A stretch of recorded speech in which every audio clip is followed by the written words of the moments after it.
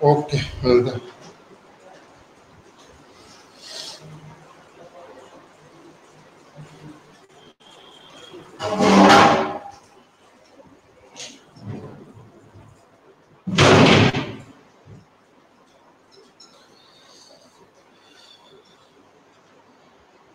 Good morning student आज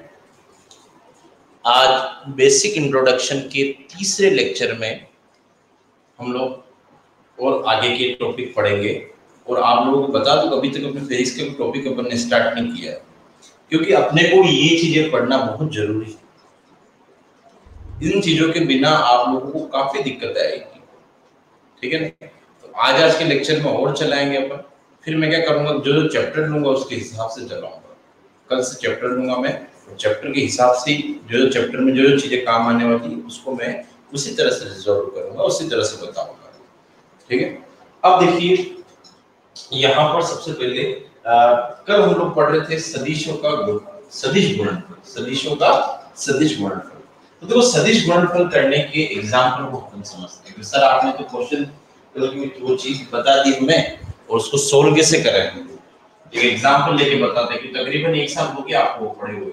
तो तो आप भूल भी गए होंगे, है ना? तो उसको कैसे पढ़ेंगे हम लोग देखिए।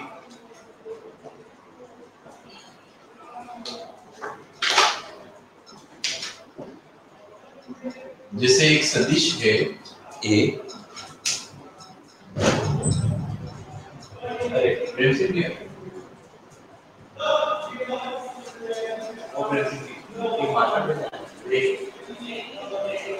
उधर भी नहीं और रेड कलर करता है तो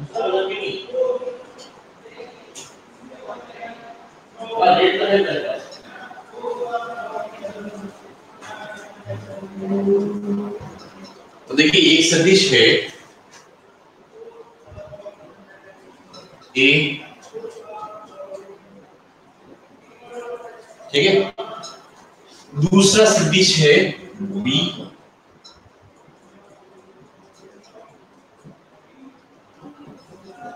तरह से दे रखा है। अब देखो, आपको क्या निकालना है? क्रॉस गुणनफल निकालना है ए क्रॉस बी। दूसरे चैप्टर में, फिजिक्स के दूसरे चैप्टर में ए क्रॉस बी निकालने का काफ़ी उपयोग है। सवाल आते हैं इस पर। एक बल आगुण नाम का एक टॉपिक आएगा। उस पर हम लोग करेंगे ऐसे सवाल, ठीक है? इसलिए ये चीज़ पहले सीखना ज़रूरी है। तो देखिए, क्या करेंगे हम लोग? सबसे पहले कल वाली तरह, एक तरह से एक बार हम लोग क्या बना देंगे? इस तरह से सारणी बना देंगे। अब देखिए सारणी बना दिया तो यहाँ पर कॉमन चीज़ क्या है? आई जे और के वे इनमें कॉमन चीज़ें हैं।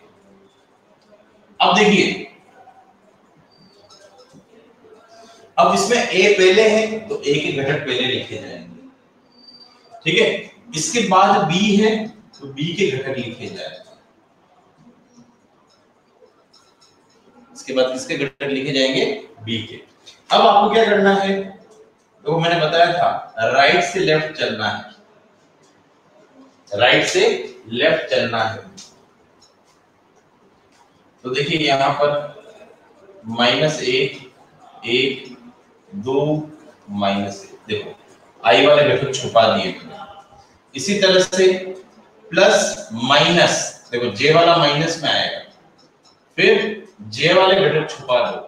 तो दो माइनस तीन, एक और माइनस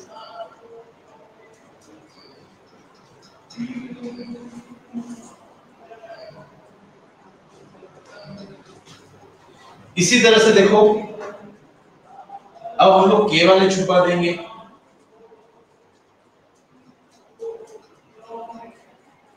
अब किस तरह से होगा देखो, यहाँ पर मैं लिखने जा रहा हूँ अब देखिए, आई। क्रॉस में चलना है तो एक का गुणा माइनस एक से मतलब माइनस एक का गुणा माइनस एक से तो प्लस का एक। कितना आएगा? प्लस का एक।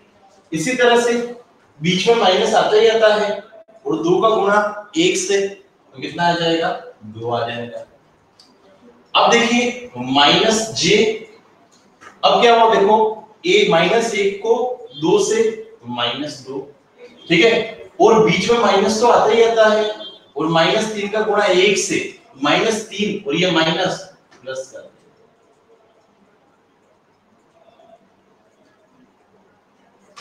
अब देखिए इसी तरह से के वाला दो का दो से चार, और माइनस तीन का माइनस एक से माइनस तीन का माइनस एक से तो माइनस में से माइनस माइनस प्लस हो जाता है, बीच में माइनस आता ही है।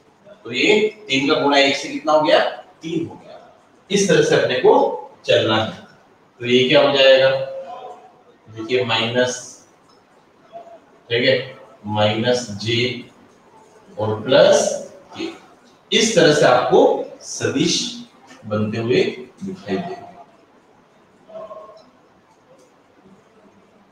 तो आपके पास ए क्रॉस बी आएगा, वो आई केप जे केप और के केप के रूप में आएगा। क्योंकि ये सदिश राशि ठीक है? इस तरह से अपने को सोल्व करना आना चाहिए। अब देखिए, इसके बाद आगे के लेक्चर में हम लोग देखते हैं। इसी के आगे आगे का टॉपिक देखते हैं हम लोग।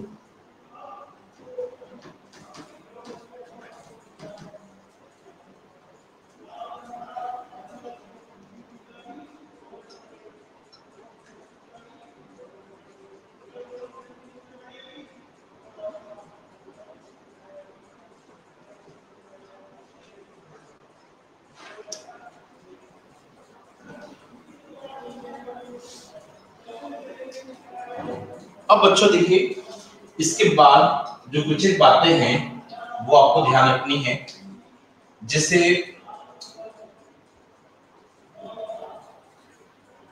एक होती है लामी प्रमेय। लामी प्रमेय। अब देखिए, लामी प्रमेय आप लोगों ने ग्यारहवीं क्लास में पढ़ रखी है। इसका बारहवीं के फ़र्स्ट चैप्टर में थोड़ा सा उपयोग। कैसे है, देखिए अगर कोई बिंदु है, उस पर बहुत सारे बल लग रहे हैं। बहुत सारे बल। किसी बिंदु पर बहुत सारे बल लग रहे हैं। देखिए, ये F1 लग रहा है, ये F2 लग रहा है, ये F3 लग रहा है। ठीक है? तो क्या होगा कि यहाँ पर तो जैसे देखो, अब F1 के सामने वाला कौन कौन सा है? अल्फ़ा F2 के सामने वाला कौन सा है? बीटा। और F3 के सामने मैंने कितना मान लिया? गामा। तो हम लोग इनको कैसे लिख सकते हैं? तो इनको लिखने का तरीका है, ध्यान रखना। F1 साइन अल्फ़ा बराबर F2 साइन बीटा बराबर F3 साइन गामा ये तरीका है इनको लिखने का। इसी को लामी प्रमेय बोलते हैं। लामी प्रमेय मतलब क्या होता है कि किसी बिंदु पर बहुत सारे बल लगते हो, ठीक है? किसी बिंदु पर बहुत सारे बल लगते हो तो उन बल का अनुपात कोण के रूप में लिखा जा सकता है। उन बलों का अनुपात किसके रूप में लिखा जा सकता है? कोण के रूप में। और दूसरी तरह से आप लोग ये भी कर सकते हो कि यहाँ पर जैसे ये तो आपको पता ही, लेकिन हम लोग घटक करके भी कर सकते हैं इनको। घटक बना के भी कर सकते हैं। तो घटक मैंने आपको बता ही रखा है, ठीक है? तो ये कुछ एक चीज़ें अपने और भी काम आती जाएगी तो हम लोग आगे आगे पढ़ते जाएँगे, ठीक है ना? तो इस तरह की चीज़ें आपको ध्यान रखनी है। अब देखिए जब आगे भी टॉपिक आएँगे तो मैं आपको समाकलन अवकलन की बात भी करूँगा, ठीक है? वो भी काम आएँगे तो वो भी ध्यान रखना आपको, ठीक है? तो ये इतना, एक जगह काम आएगा, सवाल में इतना ज़्यादा भी इतने वो याद रखने की ज़रूरत नहीं है। घटक के रूप में भी कर सकते हैं हम लोग। घटक के रूप में कैसे करेंगे? जब सवाल आएगा, तब की बात करेंगे। अब देखिए, हम लोग आज आज ही स्टार्ट कर लेते हैं पहला चैप्टर शुक्रवार है, कल शनिवार हो जाएगा इसलिए मुहूर्त कर देते हैं हम लोग पहला चैप्टर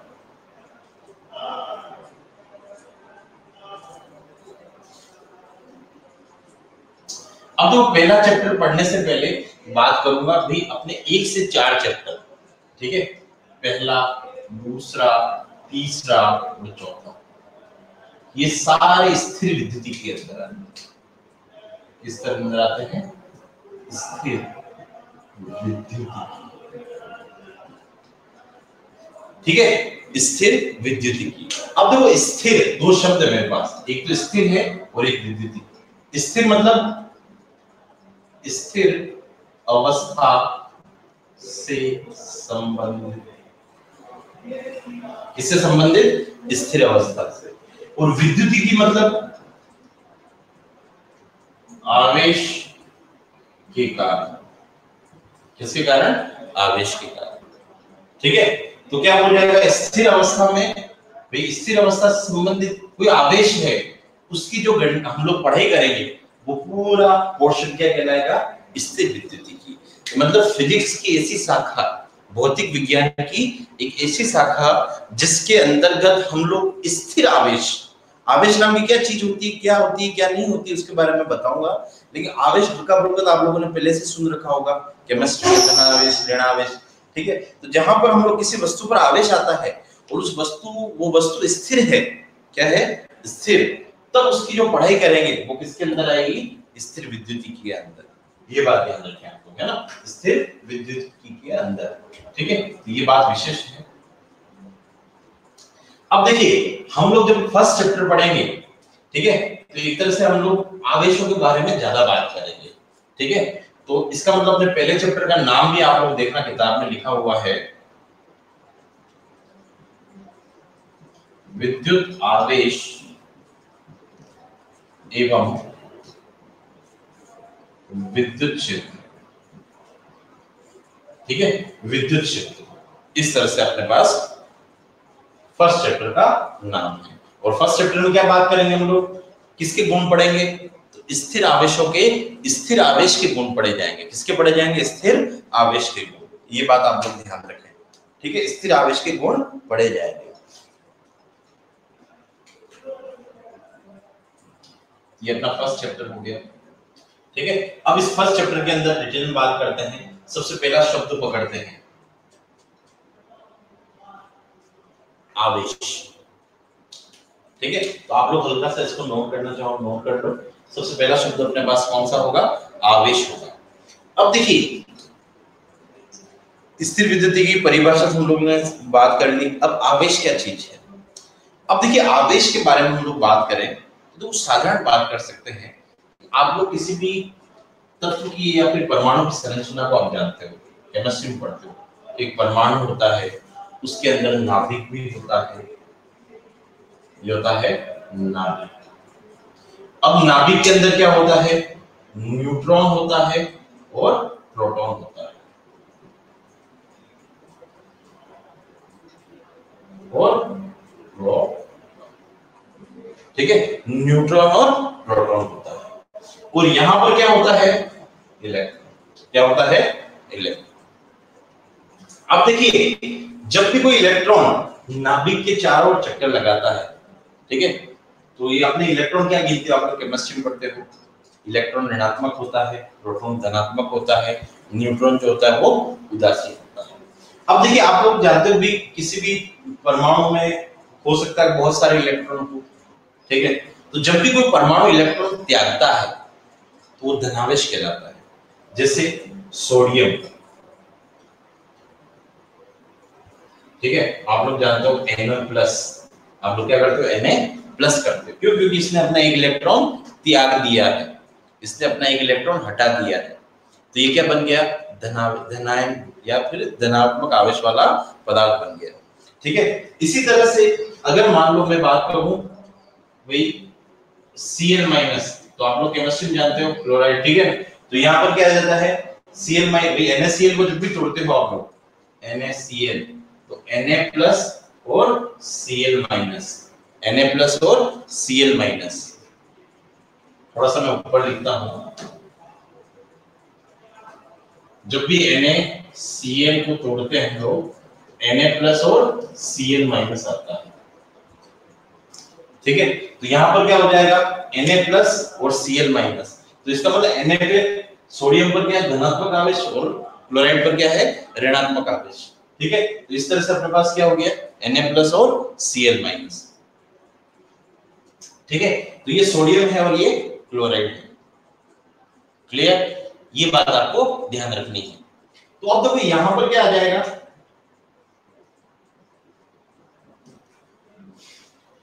अब यहाँ पर देखिए, Na प्लस और Cl माइनस तो सोडियम धनात्मक है, क्लोराइड ऋणात्मक है। ठीक है? तो यहाँ से आवेशों का क्या हो जाएगा? एक जगह से दूसरी जगह स्थानांतरण हो गया। अब देखो, यहाँ पर देखिए, सोडियम जो है, ये इसने इलेक्ट्रॉन त्यागा धनात्मक कहलाया, इसने इलेक्ट्रॉन ग्रहण किया तो ऋणात्मक कहलाया।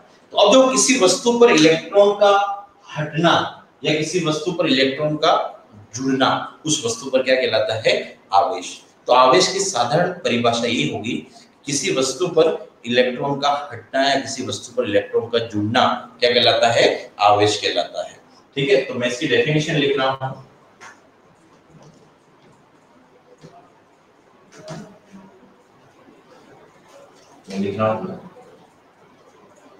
विद्युत आवेश। जो किताबों में दूसरी परिभाषा मिलेगी, लेकिन सबसे आसान परिभाषा ध्यान रखनी है। किसी वस्तु पर इलेक्ट्रॉन का हटना या इलेक्ट्रॉन का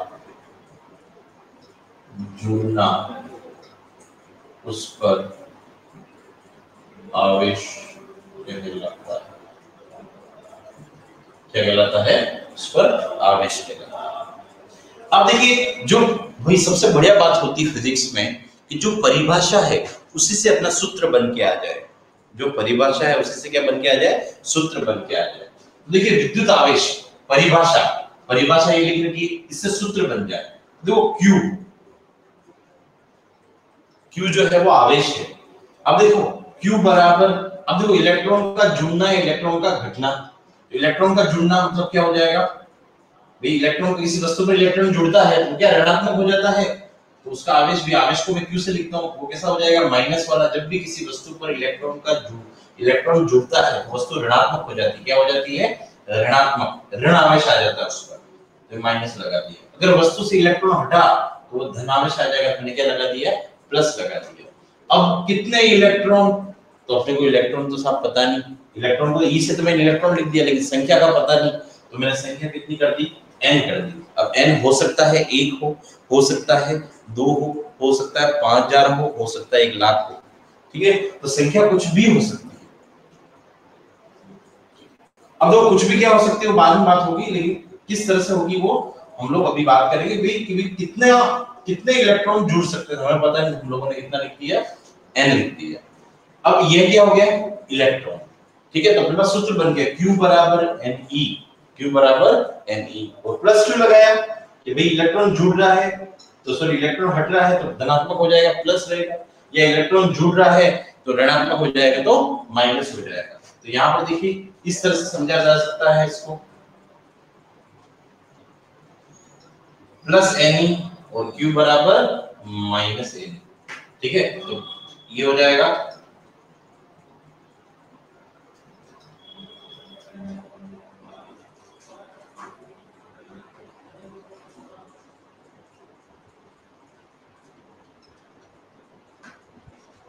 धनात्मक आवेश और ऋणात्मक आवेश अब देखिए, यहाँ पर जो है,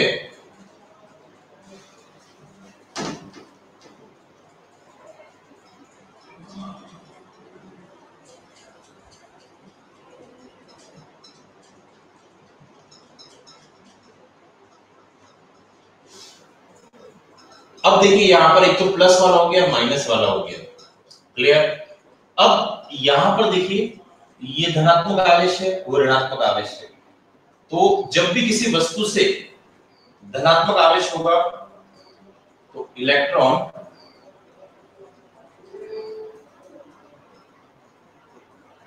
हटेगा। ठीक है? जब भी ऋणात्मक आवेश होगा तो इलेक्ट्रॉन जुड़ेगा। ये बात है ठीक है? कि जब भी अपने पास धनात्मक आवेश होगा तो इलेक्ट्रॉन हटेगा, और ऋणात्मक आवेश होगा तो इलेक्ट्रॉन जुड़ेगा। ठीक है? अब देखिए, यहाँ पर एक इंपॉर्टेंट चीज़ है, ये ई e है। इस ई e को कैसे लिखते हैं? ई e होता है एक पॉइंट छह दस के माइनस उन्नीस कूलम ठीक है? इलेक्ट्रॉन का आवेश क्या है ई इलेक्ट्रॉन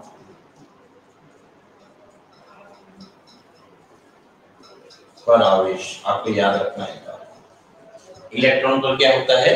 आवेश कितना होता है? एक पॉइंट छह दस के माइनस उन्नीस कुलम अब वो क्या चीज़ है? तो याद रखना कुलम जो है, वो मात्रक है। इस क्या है? मात्रक। तो मैं यहाँ लिख रहा हूँ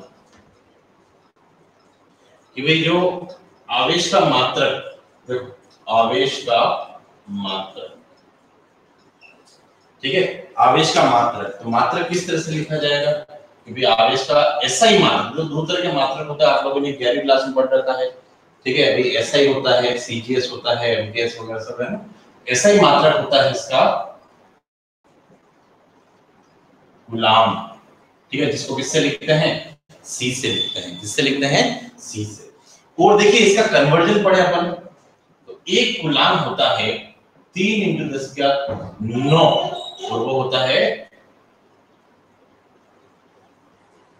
इसको बोलते हैं हम लोग इलेक्ट्रो प्रोस्टेटिक गुलाम ठीक है? इलेक्ट्रोस्टैटिक गुलाम ये बात ध्यान रखनी है ठीक है? तो ये एक बार मैंने बताया, एक बार वापस बता रहा हूँ कि साधारण परिभाषा थी, किसी वस्तु पर इलेक्ट्रॉन का हटना है इलेक्ट्रॉन का जुड़ना, उस पर क्या कहलाता है? आवेश कहलाता है। जब इलेक्ट्रॉन हटता है तो धनात्मक आवेश आता है, जब इलेक्ट्रॉन जुड़ता है तो क्या आता है? ऋणात्मक आवेश आता है। अब देखिए इलेक्ट्रॉन जब हटेगा तो प्लस जुड़ेगा तो माइनस ठीक है? अब देखिए इलेक्ट्रॉन एक पॉइंट छह दस के माइनस तो इलेक्ट्रॉन पर आवेश कितना होता है? एक पॉइंट छह दस के माइनस उन्नीस अब देखिए, यहाँ पर जो है, ऐसा ही मात्र जो होता है, वो होता है कुलम उसको हम लोग क्या करते हैं? एक कुलम बराबर होता है तीन इंटू दस के माइनस सॉरी प्लस नौ ईएसयू इसको बोलते हैं हम लोग इलेक्ट्रोस्टैटिक कुलम तो ये आप ये बदलाव जो है वो रूपांतरण वो याद रखना है, अपनी किताब में भी।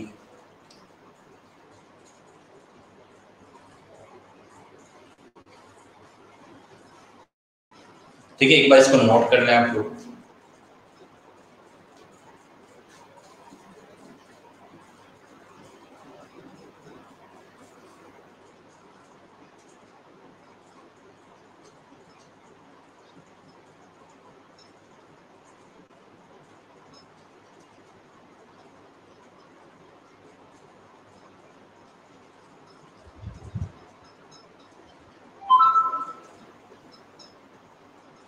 ठीक है ये हो गया आवेश के बारे में। अब देखिए, आवेश जो है तो तीन चीज़ें वो लिखेंगे। कभी भी किसी भी भौतिक राशि, आवेश एक भौतिक राशि। उसको, जब भी भौतिक राशि को पढ़ते हैं हम लोग, तीन बातें ज़रूर लिखते हैं हम लोग। याद रखना ट्वेल्थ में, ये उसके तीन गुण बताता है। ठीक है? एक तो उसका किस समुदाय का है, वो मात्रा बता देगा। फिर उसकी प्रकृति क्या है? ठीक है? तो ये है अधिश राशि क्या है? अदिश राशि। कौन सी राशि ये? आवेश क्या है? मैं पूरा लिख देता हूँ। आवेश एक अदिश राशि है। क्यों? क्योंकि यहाँ पर केवल और केवल इलेक्ट्रॉनों की संख्या है। केवल और केवल क्या है? इलेक्ट्रॉनों की संख्या। इसलिए हम लोग क्या बोलते हैं इसको? अधिश राशि कहते हैं। ठीक है? क्योंकि यहाँ पर इलेक्ट्रॉनों की संख्या को दिशा का बात दिशा के बारे में बात तो होगी नहीं। इसी तरह से देखो, एक और बात आती है इसकी विमा विमा निकालना। देखो, विमा तीन चीज़ें हमेशा ध्यान रखनी है। किसी भी राशि का मात्रक, वो किस सदिश है या अदिश है, और उसकी बीमा अब देखिए बीमा कैसे निकालेंगे? आपको दसवीं क्लास का एक सूत्र ध्यान रखना है। क्या सूत्र ध्यान रखना है? Q बराबर I इंटू टी आप लोग धारा वाला सूत्र पढ़ते थे। धारा बराबर होता है आवेश बटा समय।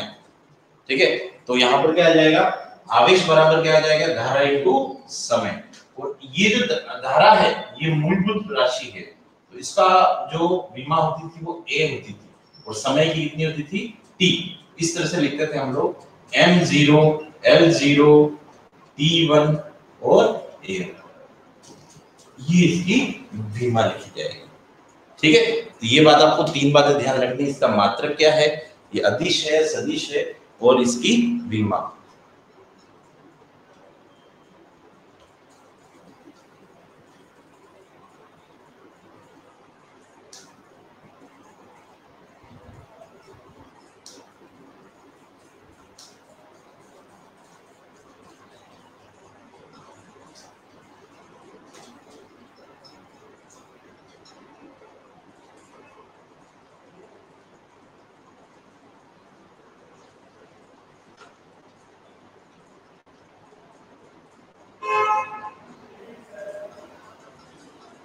ठीक है? तो इसके आगे का अपन अगली क्लास में करेंगे। तो ये आवेश के बारे में आज कुछ जानकारी ले ली हम लोगों ने। ठीक है? अब आगे हम लोग आवेश के गुणधर्म पढ़ेंगे। ठीक है? आवेश कैसे उत्पन्न होता है उसको पढ़ेंगे। ठीक है? तो ये कुछ जानकारी आपको मिली। ठीक है?